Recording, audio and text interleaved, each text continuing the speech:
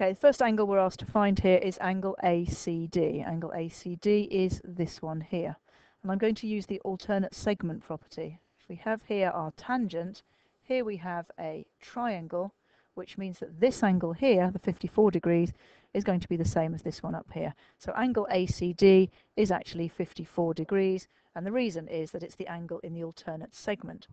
Question now says, why is BD the diameter of the circle. So if I just draw in BD, there it is, goes through the center of the circle. If that's the diameter, then we know that the angle in the semicircle must be a right angle. Now the angle in a semicircle, this is the diameter, there's the center, should be this one up here.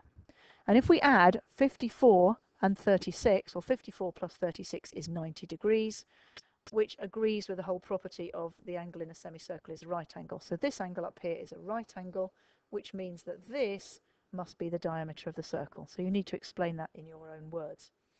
The last thing that we're asked to find here is angle ABC. So if we look, angle ABC, well that's this one here, so ABC, this angle here. And if we look, the whole thing here is a cyclic quadrilateral. And we know that opposite angles in a cyclic quadrilateral, so this one plus this one, must equal 180 degrees. We know that this angle over here is 78 degrees. So this one here must be 180, 180 minus 78 degrees.